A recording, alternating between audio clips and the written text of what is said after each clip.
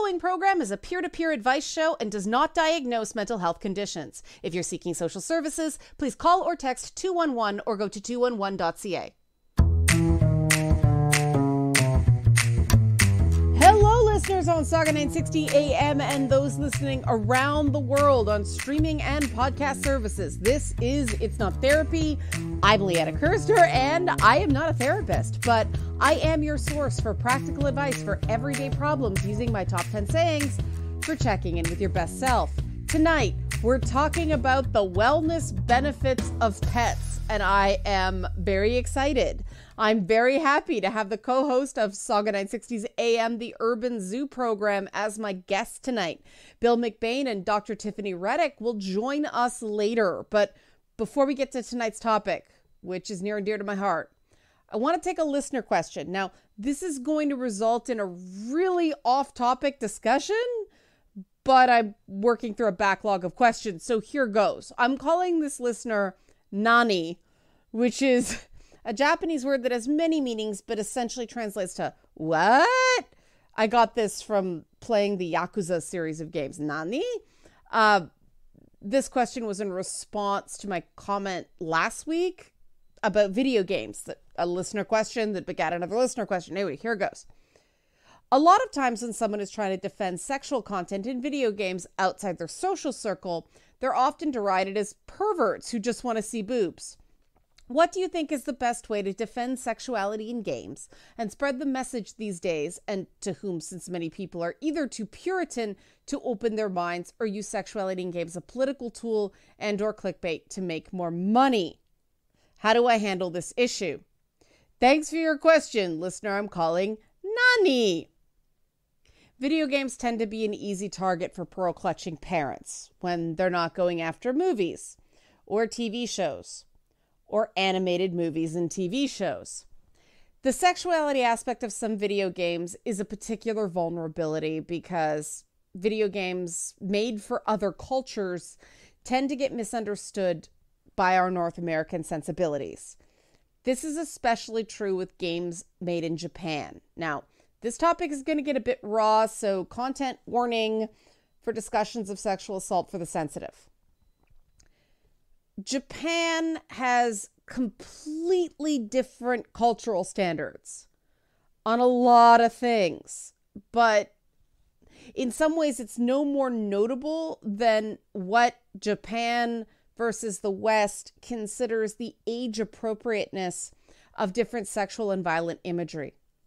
You see far fewer guns in Japanese video games than you do in Western media but sexualized content is seen as appropriate for a much younger age range. Basically, Japan loves its naughty schoolgirl content. And yeah, I'm well aware of the serious issues in Japan for women, notably teenage girls, notably getting groped on public transportation. I'm not trying to claim that Japan is remotely ideal regarding gender equality. That being said, there are still a lot of things Western critics get wrong about Japanese media symbolism, and it's rooted in our own cultural myths. Specifically, in this case, about who's the perpetrator and who's the victim in groping and similar and worse assaults. Interestingly, some activist groups in Japan found that when girls wore shorter skirts, schoolgirls wore shorter skirts, they were groped less. Not not at all, less. Yeah, it's that big a problem. Now, these activists believe it's because they seemed more aggressive and therefore less like more likely to fight back. Now, ironically, I've accidentally tested this myself doing cosplay. I've done a lot of cosplay pre COVID. The absolute worst groping incident I ever personally experienced involved a cosplay that was little more than jean shorts, a t shirt, and Keds running shoes. Now, I compare that to when I was dressed in a purple snakeskin dominatrix type fighting game character specifically for people who know video games, Ivy Valentine from the Soul Calibur series. in that cosplay, zero problems with groping. In fact, guys asked me to beat them up. Okay, that's anecdotal, but it backs up the stuff coming out of Japan. And yeah, okay, before male listeners are like, ah, I know, I know, I know. We're going to address this on next week's show. There are double standards at play. People complain about the depiction of women, then thirst after shirtless actors like Chris Hemsworth and Jason Momoa. For those of you who don't know what thirst means, it basically means like lust after. People seem to forget that this kind of stuff is all about power. It's all about coercion and unhealthy stuff. Not about normal sexual attraction, normal healthy attraction to other people. Now, Nani, you hit the nail on the head when you referenced a Puritan sensibility. Contrary to popular opinion, consuming sexy content, even flat out pornography, doesn't correlate with more sexually aggressive or abusive behavior. Now, does that mean that some people don't have an unusually unhealthy relationship with this kind of content? No, of course not. Any activity that's interfering with your day to day function is, by definition, a problem. But there's nothing unique about sexy content in this sense. In fact, we're going to do a bit of a history lesson. Go back to the 1990s. Picture it North America, 1990s. Two things were happening back then the first was that the dex the definition of sexual assault it was broadened so that more things were included in the definition of various types of sexual assault. I'll spare you the gory details, take my word for it. The second thing that was happening in the 1990s was the proliferation of the internet and therefore the explosion in internet porn. There's a whole song in the musical The Avenue Q. The internet is for porn. The internet is for porn. Yeah, it, it's a wonderful song. Um, I digress. Strangely, while all this is going on, more things considered sexual assault. Lots of porn, more and more and more porn. The rate of sexual assault reported since the 1990s has decreased by somewhere between 45 and 55%, which I get it. It's, you know, not uh, not what the media narrative is right now, but this is what the documentation tells us. That doesn't mean that individual stories are not real. Don't use this to disbelieve someone. These are just the statistics. Again, more things were considered sexual assault, but the rate of sexual assault drops. That suggests that sexy content doesn't cause people to be, in Nani's words, perverts. Here's the problem, Nani. Logic doesn't work in this argument. The idea of sex, the word sex, makes a lot of people do and say very strange things. As a culture right now, we're going through something of a neo Puritan phase where even kissing in the Buzz Lightyear movie is seen by some as sexual content. So these attitudes that are giving you a problem are going to take time to shift. One of my top 10 phrases is core values are more important than common interests. Just because someone shares your interest in video games doesn't mean they're going to see eye to eye with you on, well, anything. I've played my share of these Japanese video games with sexualized content, and I think s- parts of some of them are weird, but I, I don't find them objectionable especially when you compare them to shows like Riverdale on the CW that glossed over the statutory rape of Archie via reimagined Miss Grundy by referring to it as a forbidden romance. There's a trailer out there right now for the upcoming Thor movie, Love and Thunder, that has Zeus tearing off Thor's clothes. Can you imagine if a male character did that to a female character in a movie trailer? There'd be screaming. All this points to the fact, Nani, that our culture is messed up about all this stuff. And that's why I bite the bullet and talk about my purple snakeskin dominatrix cosplay. I know some people are going to think I'm a quote unquote slut because I did that. And you know what? I do not care. If someone's going to reject me for a costume, they're likely going to reject me for other dominant parts of my personality too. And in my opinion, this is just my opinion, that's the root of our culture's rejection of sexualized women. It's a rejection of women who want to be seen because how dare we?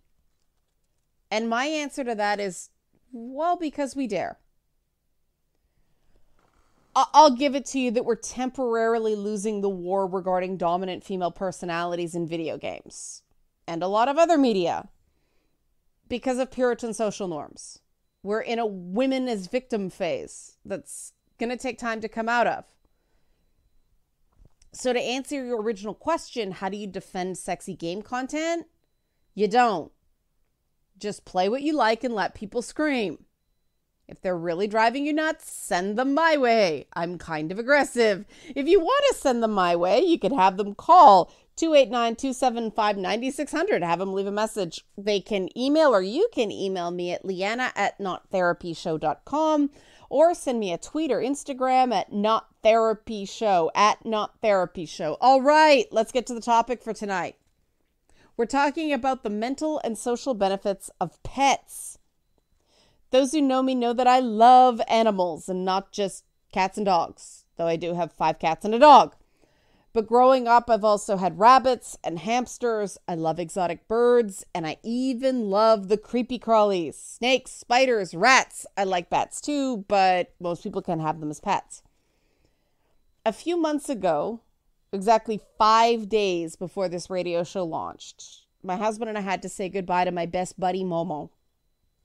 Momo started life as a community cat, what we used to call strays or feral cats. He had lifelong chronic health problems st- stemming from his rough start in life. But everybody loved Momo.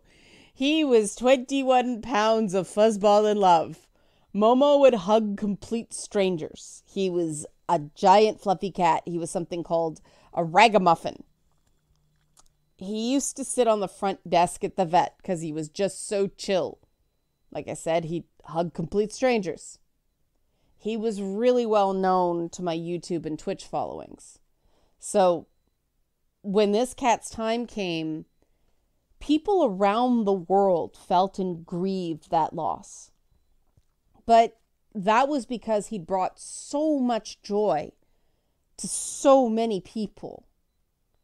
With Momo, it was really easy to see all the benefits of having a pet, despite all the stress, work, and expenses that came with all his illness, and a lot of snot. He had an upper respiratory thing. There was cat snot. Cat snot is very sticky. I'll, I'll spare you more on cat snot. A lot of people say that pets give you unconditional love. I don't necessarily agree. I tend to like animals with special needs. You know, bring me your weirdest, jerkiest, most destructive behavior problem animals, I'll probably love them. My husband and I even had a dog with canine PTSD who was a bite risk. So I don't say that no matter what, a pet will love you. Between community cats and dogs with very issue, various issues, including anxiety issues from too many rehomings, I've learned that sometimes it takes a while to establish trust.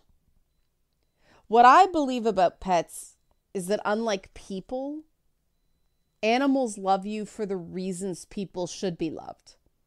They love you because you're kind, you're considerate, attentive, affectionate. They don't care about status or profile or popularity. They only care if you're a good person. Now, I've found different types of animals teach you different things. Sometimes they teach you patience. Sometimes they teach you consequences. Yeah, don't leave your good shoes around a dog that's a chewer. I've learned a lot about boundaries from dogs and the reality that if you want someone to stop doing something, you have to stop rewarding the bad behavior. Now, something I learned from rabbits, especially a particularly aggressive mini lop named Elvis, from him I learned that sometimes the best approach isn't always head on. For those of you who don't know, bunnies don't necessarily like the thing you do with cats and dogs, let them smell your hand. No, they like you to come around from the back because of where their eyes are located. So if you came at this rabbit head on, he'd go, Whoa! rabbits make that noise. They make this grunting noise when they want to scratch your hand. Yeah. Elvis was named Elvis for a reason. But then we come back to cats. For me, cats are the ultimate lesson teachers because cats are just so weird. Cats are incredibly distinct personalities and they are big personalities. People tend to ask because we have so many cats. We had nine at one point, we're down to five. And people ask, do they all get along? Well, yeah, eventually they all get along, but sometimes it takes work. Cats are really big on rituals. Every cat has different boundaries. And cats have strong opinions. Now, therapy and emotional support animals exist for a reason. And there are as many benefits to animals as there are animals and people. Some people find that needing to get up to walk the dog keeps them out of the depths of depression. There's a quote floating around that goes, The more people I meet, the more I like my dog. And this quote has been attributed to everyone from Charles de Gaulle to Mark Twain. Now, what we know Mark Twain said about dogs is if you pick up a starving dog and make him prosperous, he will not bite you. This is the principal difference between a dog and a man. But Mark Twain was more of a cat person. He was really a cat person. In fact, when Mark Twain traveled, he rented cats. He rented cats as companions and then left behind enough money for these cats to be cared for for the rest of their lives. He once wrote, If man could be crossed with the cat, it would improve man, but it would deteriorate the cat. So we're talking pets tonight. And after the break, we've got Bill McBain and Dr. Tiffany Rennick from Sauga 960 AM's Urban Zoo to talk to us about the joys of pets and the mental health challenges our pets can have. So stay tuned after the break on It's Not Therapy. The following program is a peer to peer advice show and does not diagnose mental health conditions. If you're seeking social services, please call or text 211 or go to 211.ca.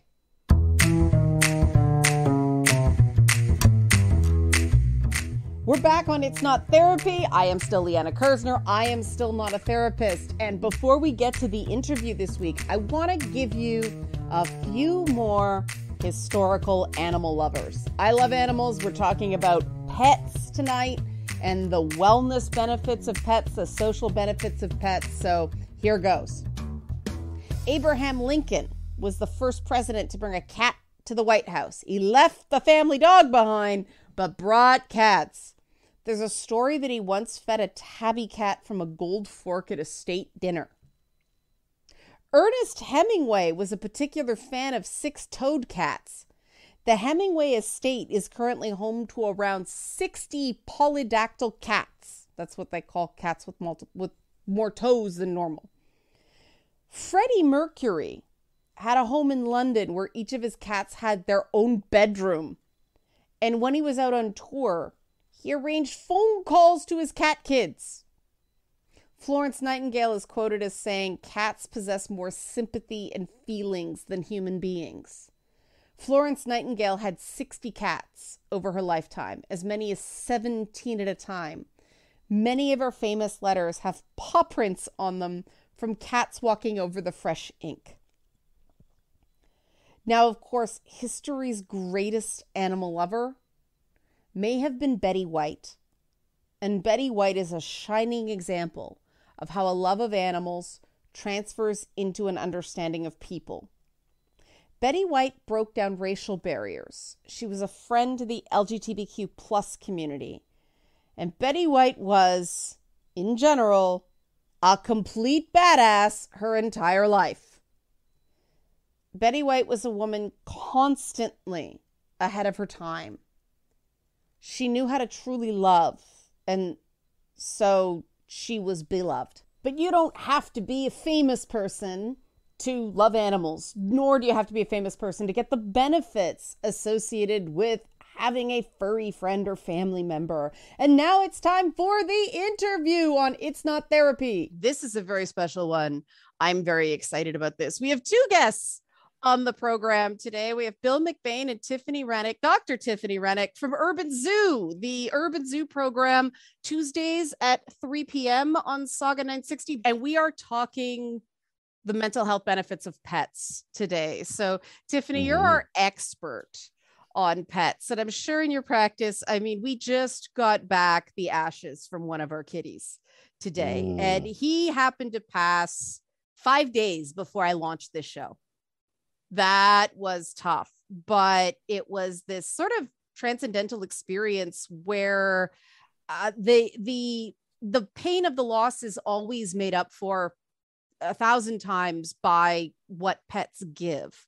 And a lot of people are worried about you know that that intense emotional commitment and yet you know you're sort of renting them you you only get so much time with them so what are the overall emotional benefits of having a, a furry or scaly or feathery friend in your life well, I think if you talk to anybody who's ever had a pet, they could list off a million reasons why pets are are such a great benefit. But I think when I really look at it, I look at you know in our relationships with people people come with a lot of baggage.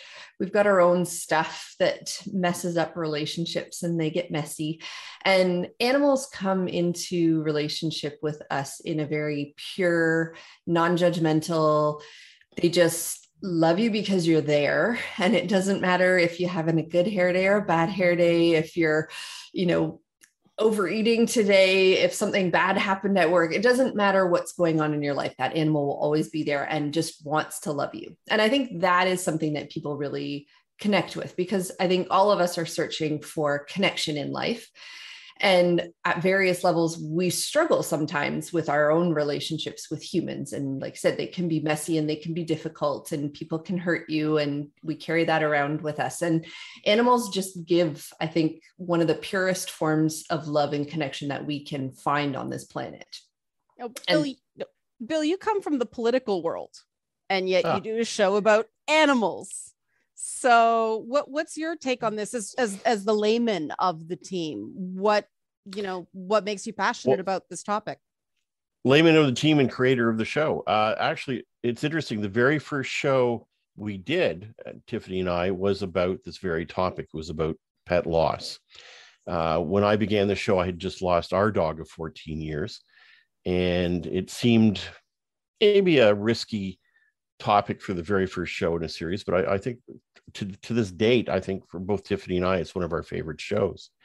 Um, and we did we had a minister on as well uh, uh, with us, and uh, Tiffany and I talked to, uh, from her experience in in the uh, in the clinic with uh, with her practice, and and I talked about my experiences with with this dog. Um, but I've always been interested in animals. I grew up with it. Uh, I blame my father for that uh, quite happily. Um, I, you know, worked on a farm when I was a boy. Uh, I've spent much of my, excuse me, professional career in, in various uh, gigs in Northern Ontario and out in the world, and it just means a great deal to me. And I've, I've, uh, it, it's a part of my life that makes me happier, and it's been a joy to talk about animals and the environment, which I think, is, and particularly this point in our history, is is critical that we understand our relationship with with the uh, with the wild and with our fellow creatures much better than than uh, than we have to date. Now, Tiffany mentioned unconditional love, and and I have a Chinese crested powder puff dog. I, am getting looks. Everybody's like, oh, right. Uh, so my next question for Dr. Tiffany is about matching an appropriate pet to a person because this this poor little doggy his name's loki be very careful what you name your pets. He is the dog of mischief but he was a rehome. And eh, we've had to deal with food aggression separation anxiety all that stuff. We're old hats with this so we were set up to do this but it can be heartbreaking when it doesn't when it doesn't work that way right? There are all these shows dedicated to you know dog impossible and things like that. So what is your advice for selecting the a good fit both in terms of breeder versus uh rescue community you know pet store animal and also what kind of pet and what breed so I think the most important thing is looking at your lifestyle. So, you know, an example would be if you are a person who works 12 hour shifts, four or five days a week, you live in a one bedroom, 600 square foot condo, a St. Bernard is not a good choice for you. Um, so looking at your lifestyle, what what time do you have to commit to an animal? Because even um, you know getting some reptiles and some of the birds people don't always realize how social they are. And our job is not just to feed them and walk them or provide a safe place for them but most animals do have psychological social emotional needs that they have to meet.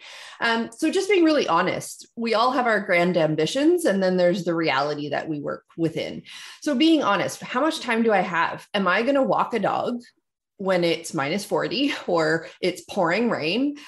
Or am I going to be like, no, I'm not going to do that. And then your lab is eating the leg of your couch. Um, so just be first is that realistic look at what my lifestyle looks like. And, you know, I, for myself right now, I, I have two active kids. They're in multiple sports. I have a busy professional life. And I've just decided for me right now, a dog, as much as I want one, is just not a good option because my ability to be home and give that dog what it needs socially and emotionally, it's just not realistic at this point. Um, but things like smaller pets, some of the small mammals, some of the lep- um, like lizards and stuff, sometimes those might be a little bit better of a choice if you have a very busy lifestyle. You're not home a lot. You don't want to have to walk a dog. You don't want to have that need to be there immediately. But you also have to think about going on vacation. What am I going to do with that pet when I'm on vacation? So, just thinking those things through of what your whole lifestyle looks like. And then once you've got that, then do your research research the breeds on the urban zoo every week bill and i talk about uh, either a yep. breed or a species and we highlight a lot of stuff and so there's lots of shows that you can listen to um, but do your research that is the most important thing the biggest um, i guess you could say pet fails that we encounter are generally avoidable because it was more a case of not knowing what you were getting into than it truly not being fixable. And so just doing that research. And then when you're going out to look at where you're getting things from, it's also research. Research your breeder, research the rescue that you're going to, be aware there's a it's a different ball game buying a puppy at 8 weeks and training them in your home than by you know getting a three or four year old dog from a rescue like what you said you, mm. they've come with baggage they've got some issues and the other thing to recognize is a lot of people when they get a dog or a cat or something from a rescue that does have issues um, they often don't seek appropriate help right away and there are a lot of amazing resources out there for people. So there's really good trainers. Your vets are a great source of information for where you can get help if you do end up with one of the, those more challenging pets, there's often a lot of options. So, Bill and I harp on this, I think, on our show research, research, Absolutely. research, research, because there is no right answer. I might look at someone else's lifestyle and think, you're crazy for having their pet, that pet with what your lifestyle is, but it works for them. Um, so, it's really know and be realistic in your expectations of what you can actually commit to a pet and then do your research into the energy level. I mean, uh, a Vizsla or a Weimaraner is a totally different ball game. They are just dogs on crack sometimes, and they need a high paced life. Uh, you know, I've got one owner and he does 12K every day. That's perfect dog for him. That dog runs itself into the ground and then sleeps when it's home. Yeah, we but we had a border collie. Yeah, and we yeah. think you can't leash walk those dogs. You they need to be able to roam. And I have more I want to talk to with Bill and Dr. Tiffany from Urban Zoo on Sauga 960 AM, but we have to go to a break. So just hang on. And when we come back, more about you and your happy pets. It's not therapy. The following program is a peer to peer advice show and does not diagnose mental health conditions. If you're seeking social services, please call or text 211 or go to 211.ca.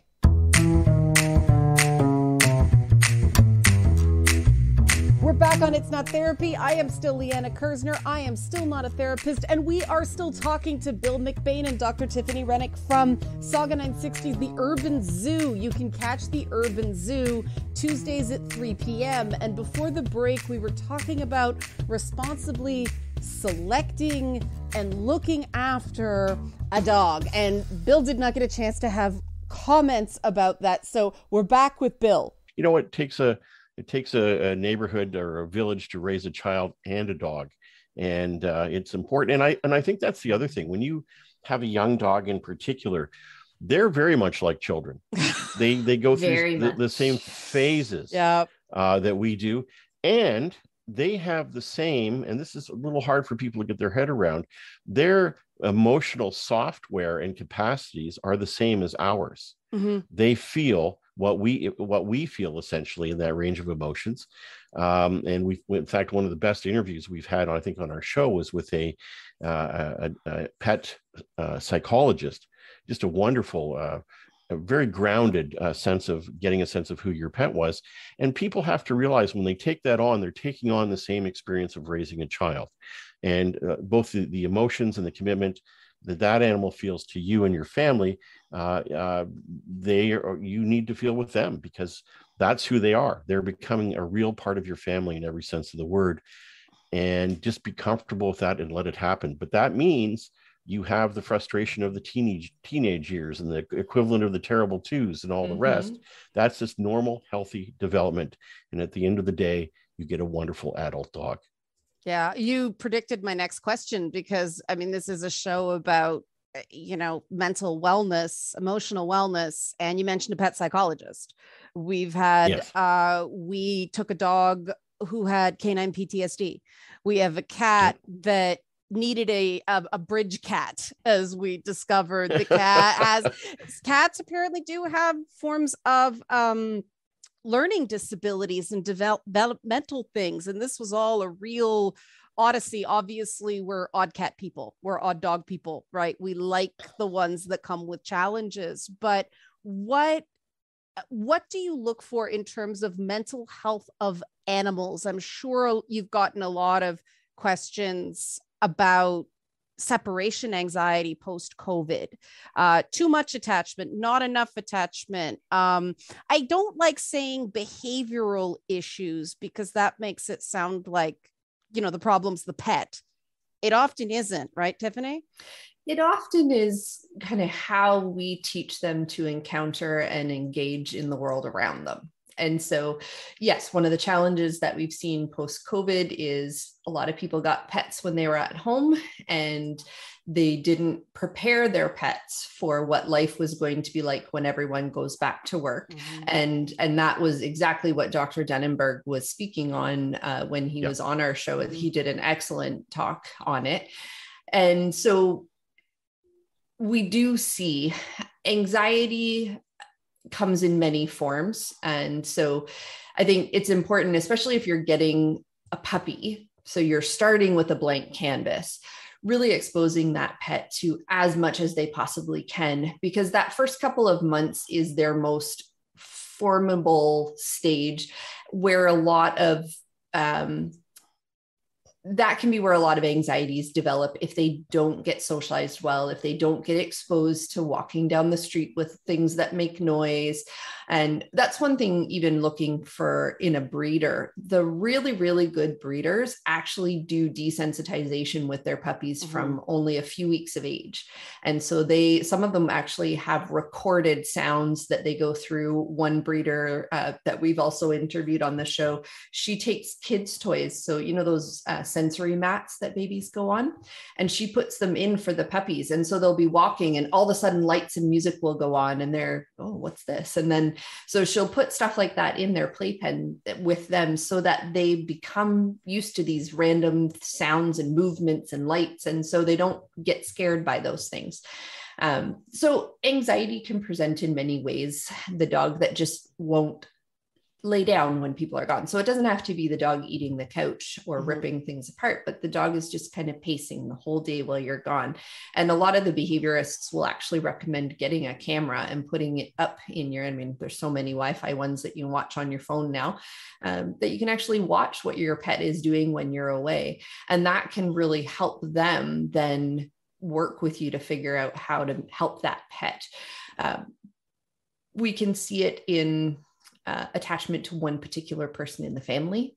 Uh, so they've mm-hmm. picked their person, and everybody else is fine when their person is there, but when their person goes, they don't care about everybody else. Um, yeah, so we can see a lot of mental health issues in pets, and there's again, there's a lot of resources that we have available to help try to work through those and help those pets have a good quality of life and that's really what we're looking for. I mean, we can't make them someone they're not, but we mm-hmm. can try to do our best to ensure that it's having minimal impact on their quality of life.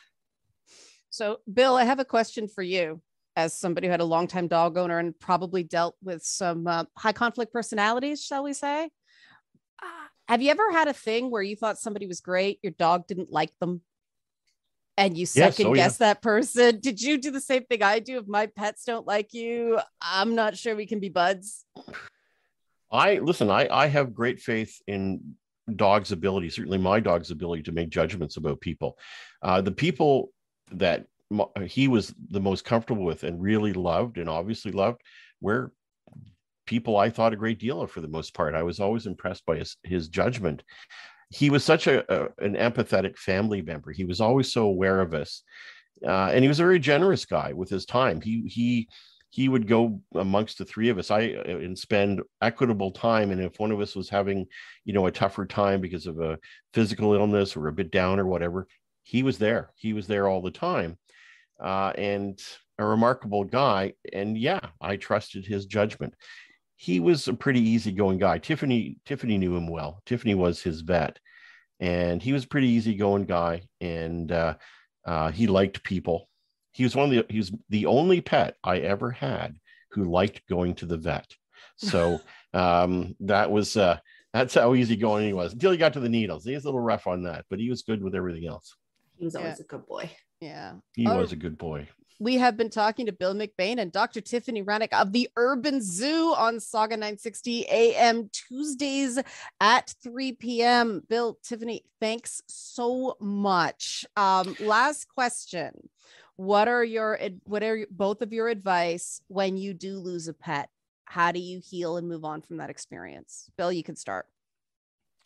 Well, first of all, uh, you mentioned right off the bat, uh, you honor what what that pet was to you and your family and you and you hold on to those memories the loss is every bit as profound for for many people as it is for the loss of a family member or a favorite human being uh, and, and don't try and minimize it. A lot of people say, "Well, it was only a dog, da da da da da," but in their hearts, they know that's not the case. That that being meant a great deal to them, and just acknowledge that and and feel the grief for a while. Over time, you know you're sad about the loss of your animal uh, but they have short lifespans. We know that going in. And we also know how wonderful they are. And one of the things I, we've said on the show is that you know the candle that that burns twice as bright lasts half as long. And you honor that life uh, and and what uh, he or she meant to you. And yes you feel their loss but you know you put them in context of your life and, and how important they were and you hold them there uh, and you you get on with your with your life, and I think that's healthy. Uh, I think it's a very respectful way to look at the loss of a pet or a human, uh, and I wouldn't necessarily uh, look at them differently. Other, although the funeral costs are a lot lower, um, but uh, but you know, uh, but still honor that life and what it meant to you. I guess for me, um, I, I often see the other side of mm-hmm, it mm-hmm, as mm-hmm. Um, the medical professional who is there often at the end. And uh, the two things I see are mostly one, but the biggest thing I see is a lot of guilt because many pets, and I would say the majority of pets, are euthanized because their health has declined and we have to make that call. It's a very small percentage that die nice and peacefully in their sleep and you find them in the morning, which is what everybody wants to happen, but it very rarely does. And so people struggle a lot with guilt because you are choosing the moment. And what I often tell people is while it is a very difficult decision, it is the greatest gift and that final act of love that you are giving your pet because you've spent their life doing everything you can to give them a good quality of life, to care for them. And we have these beings in our care, and they can't make a decision about how their life is going to end. Um, we've also taken them out of their natural environment where predation mm-hmm. and all these other things would not allow them to suffer long periods of time. And so it is that final act of love and i try to encourage people to recognize that that it is hard and i will never try to tell you it's an easy decision but you are doing something incredibly kind, you are making a huge sacrifice of yourself because this is not something you mm-hmm. want. You're not doing it because you're giving up on, on them. You're doing it because you know it's what's best for them and you're allowing them to have an end that is peaceful. Um, and so I think carrying that away from a euthanasia experience is helpful for people. And then, like Bill said, I think our society doesn't do a great job with grief. We try to push it down, we try to run away from it. If I don't think about it, it's not going to hurt. It hurts. Mm-hmm. It just hurts. Sure it Losing mm-hmm. anybody mm-hmm. hurts. And just allowing yourself to be in that space. It's okay to hurt. Mm-hmm. And I often, mm-hmm. in my own experiences, not even just relating to animals, but family members that I've lost, I found that walking through that grief actually healing takes place faster and not that we want it to be fast but i think the wholeness that we are all searching for after we've lost someone comes in allowing ourselves to remember mm-hmm. in allowing ourselves to feel in allowing ourselves to enjoy those moments and i think you know one day that memory that makes you cry there's going to be one day when you that memory comes to mind and it's going to bring a smile to your face and it's going to bring warmth to your heart because the experiences that we have with our pets are deeply profound and mm-hmm. they are they are deeply moving and they touch mm-hmm. us um, and so just don't be afraid to just let yourself feel it you've got to walk through that grief to find the peace on the other side I think that's one of the greatest lessons animals can teach us because people feel the ability to feel their feelings with animals in a way they may not around people. I'd love to mm-hmm. talk to you guys forever, but we have to go to break. Bill, Dr. Tiffany, thanks so much. The Urban Zoo, Tuesdays at 3 p.m. on Sauga 960 AM. After the break, we're going to talk more about our furry friends and wellness. It's not therapy. Following program is a peer to peer advice show and does not diagnose mental health conditions. If you're seeking social services, please call or text 211 or go to 211.ca. We are back on the closing minutes of It's Not Therapy. I'm still Liana Kerzner. I'm still not a therapist. And we didn't get to many of your questions this week because we had an extra long interview. But I want to touch on something Bill said about the range of emotions of pets.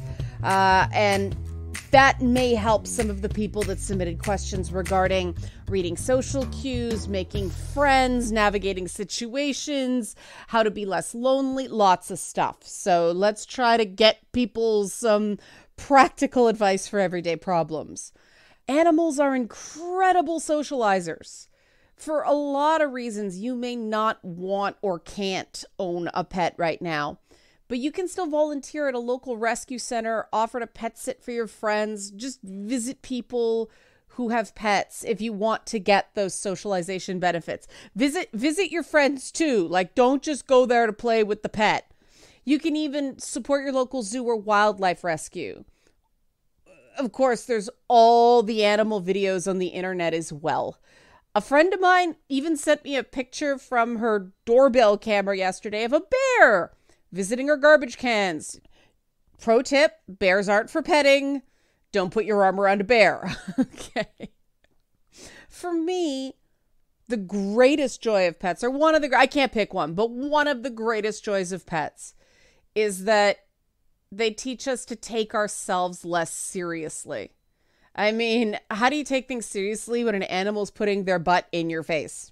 But they also teach us, as Bill and Dr. Tiffany said, to feel our feelings. Another one of our cats, Link, the the one I mentioned, who has the uh, learning challenges, learning disabilities, developmental disabilities. Linky had to have a mask removed from his mouth this week, so it's it's been a week. It was the same roller coaster as a human being. I have to find out if it's cancer. Happy when it's not cancer. We've we've had quite a few cats die of cancer, but then there's all the surgery prep and Link extra challenging with him. He gets overwhelmed, he gets stressed. It's a whole thing. And yes, you might be wondering is Link named after the video game character from the Nintendo series Legends of Zelda? Yes, he is. I also have a cat named Zelda and a cat named Midna. The Midna, as in the Twilight Princess Zelda game. And yeah, they're like their characters. Midna is the embodiment of I would have helped you if you were nice. And Zelda, Zelda is incredibly smart. Zelda shows up on my Twitch streams a lot and helps play games. Zelda is associated with the Triforce of Wisdom. You know, gamers out there know that Link is associated with the Triforce of Courage, not power. Power character is actually the bad guy. So no, people ask, "What do you have a Ganondorf?" No, why would I name a cat or dog after the bad guy? But getting back to Link, because of his unique challenges, he does have to be pretty brave since the world is so confusing to him. It's a constant reminder that there's good and innocence in the world, and that's really helpful when you spend a lot of time interacting on people who are in a bad mood, especially on social media. That's a good segue into next week's topic.